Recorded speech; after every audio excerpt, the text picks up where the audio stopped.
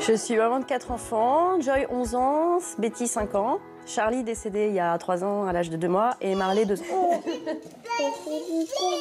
Il y a 3 ans, euh, j'ai mis au monde mon premier petit garçon. C'était le merveilleux moment de notre famille. On était 5 et c'est ce qu'on voulait depuis le début. Il est décédé à l'âge de 2 mois, euh, après la découverte d'une maladie cardiaque incurable. Quelques mois après le décès de Charlie, avec mon mari, on a ressenti un- vraiment un, très grand vide, un très grand manque, et donc on a, décidé d'avoir un autre enfant. Je suis retombée enceinte euh, neuf mois après le décès de Charlie, le, mois de son anniversaire. C'était comme un signe. Pour moi, c'était Charlie qui revenait. C'est moi, je reviens, maman. Le, retour à la maison, euh, j'ai vraiment recherché Charlie dans Marley.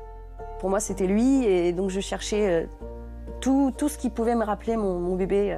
Donc le parfum, les vêtements, le lait. euh. Je fermais les yeux, j'avais vraiment...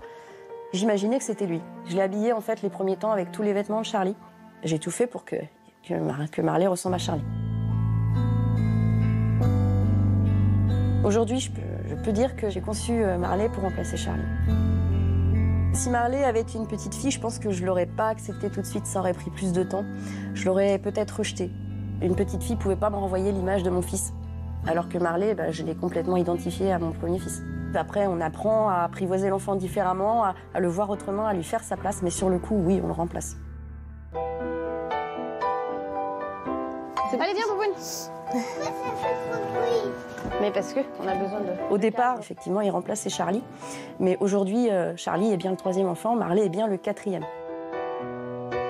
Avec Marley, l'avenir aujourd'hui, euh, j'ai quand même euh, une angoisse. C'est euh, de le moment où il va falloir que je lui annonce qu'il est l'enfant d'après, en fait.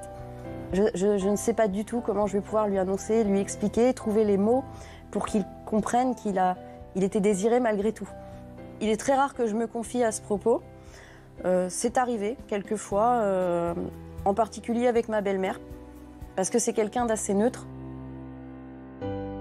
Faudra lui dire, bah oui, c'est. Oui, c'est. Oui, t'es- une autre personne, oh, tu, ne remplaces pas euh, Charlie, non?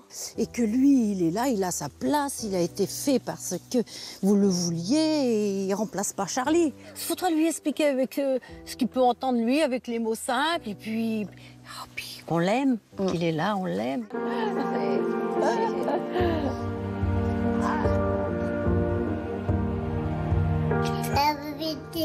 D'accord. Tut, tut.